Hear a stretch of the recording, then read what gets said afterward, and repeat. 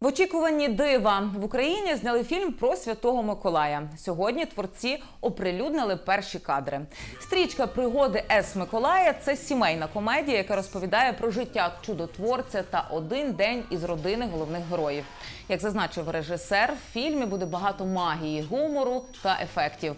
У стрічці знялися український силач Василь Вірастюк та телеведуча Марія Єфросініна. Сімейна комедія вийде у прокат 13 грудня.